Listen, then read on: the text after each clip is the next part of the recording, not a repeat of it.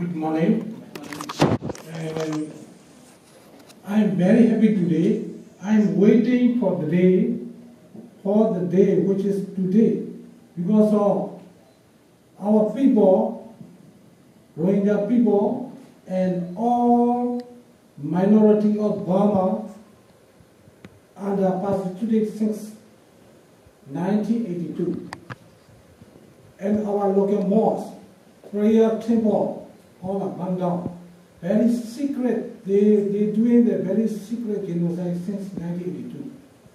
I personally was arrested and detained for 27 days and extremely tortured in 1997. So I need to plead to Thailand. This is very bad history, very recent. In 2013, my family, my own family, all houses burned down in southern Rakhine State. And before they burned down and they beat our family, the mob openly declared before they do the one. So we already before the police stations and security posts, they took, they never did the take actions. And then they let them do. So one month, what the Latin government doing the bystander? This is now we hear the very, very concrete uh, leaks report. The central government they say directly ordered them to wipe out the all Muslims from the country. We have very strong documents. But we are very innocent. How can we do that? That's why we are looking for the who can take action the head of the state. I'm looking for three years ago. Now we found it and I'm very appreciative, very appreciative. The law firm and my brother and the Force. Because of our innocent people can do nothing.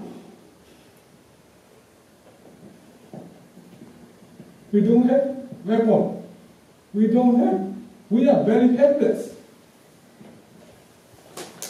Almost our families are now all gone. So today we we got a dream, we got the hope. We can do the legally take action since today. So we need to adjust the unjust body justice.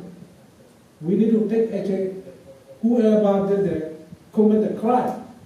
Now we got and I believe we can do step today and the future. Thank you very much.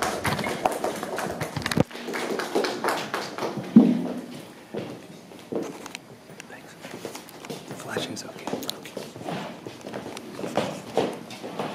Um, Just to say that um, I wanted to recognize that a number of Rohingya have come from Chicago, um, especially, uh, to join us.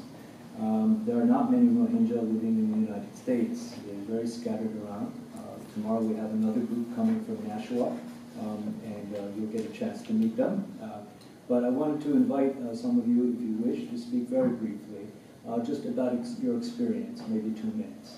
Would you like to start? Um, Any, anyone who would like to just say a few words.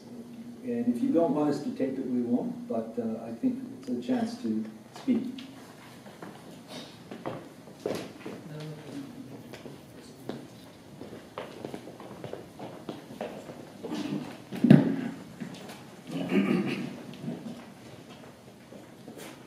Assalamu alaikum wa rahmatullahi wa barakatuh. Peace and blessing of God be upon all of you. I welcome the Burma Task Force who has undertaken this case with other groups, including 19 coalition partners in this Burma Task Force who has filed this amount. I am very thankful to Burma Task Force. My name is Muhyiddin Muhammad Yusuf.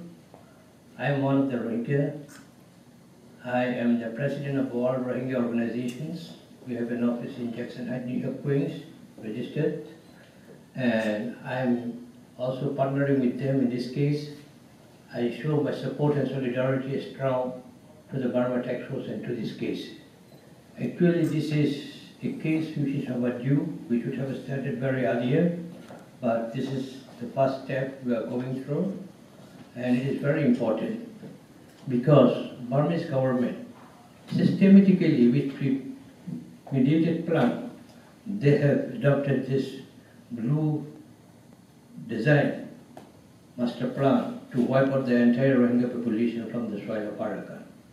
Actually, Rohingyas are the native people of Arakan. They are bona fide citizens of Burma. They have been living there for thousand years. It is not acceptable to say that there is no Rohingya existence in Burma. This is complete violation and fabricated. Actually, this is a systematic genocidal activities to wipe out the entire Rohingya population from Arakan and Burma. I cannot express everything within short time because there are 30 articles in Universal Declaration of Human Rights. All 30 articles are violated against the Rohingya people.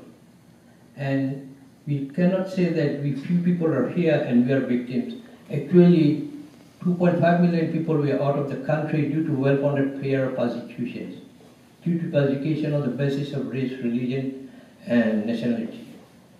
So, the entire population of 4 million inside the country and outside, they are the victims of genocide.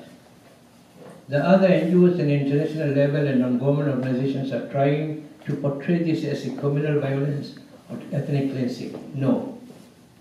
This is completely genocide because eight stages of genocide have already passed over on Rohingya people. So we hope that this is the first step that Burma Task Force and other alliance, alliance groups and those brother Chile also civil rights movement with the Rohingya One organizations, we all are together one. We have nearly 3,000 people in America, the Rohingya people.